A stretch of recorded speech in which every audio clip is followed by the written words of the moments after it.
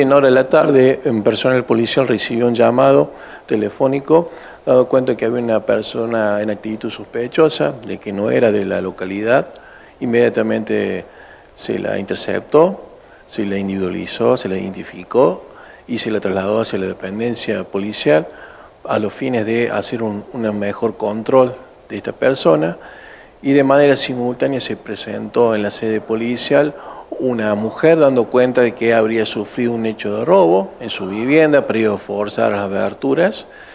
y mm, al mencionar los elementos que le faltaba, entre ellos un par de zapatillas, dos notebooks este, y otros elementos de su propiedad, coincidía con lo que tenía eh, eh, esta persona en, dos mochilas, por lo que inmediatamente se lo, se lo prendió y se lo puso a disposición de la Fiscalía de turno por el supuesto autodelito de robo se le secuestró todos estos elementos. Estamos hablando de una persona de 28 años, oriunda de Villa Rumipal. ¿Con algún antecedente? Bueno, se está trabajando al respecto, se está solicitando antecedentes penales contradiccionales en, en la departamental Calamuchita, donde corresponde, eh, donde vive este, este eh, autor del, hecho. Eh, y bueno, se está trabajando con la investigación para sumar pruebas y este, lograr eh, esclarecer de forma definitiva este suceso. ¿Hubo otro hecho acá en la ciudad de Berlín? Sí, el día sábado a la tarde-noche eh, hubo una intervención policial por parte de la patrulla preventiva en calle Catamarca 450 en marco de un conflicto eh, familiar, pero que a la vez este, el causante, un,